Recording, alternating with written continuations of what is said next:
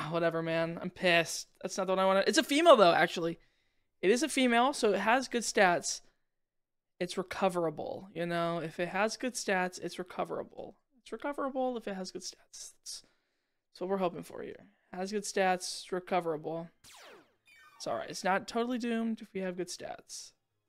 Drain Punch. So it's not bad, not bad. But anyways, I gotta go. I'm gonna go back to shiny hunting, try to get the other Pokemon. But um, this guy is his this these IVs are kind of cracked. Green and purple spider is kind of cool.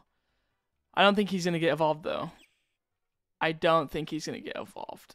His evolution is ugly. But anyways, that's all.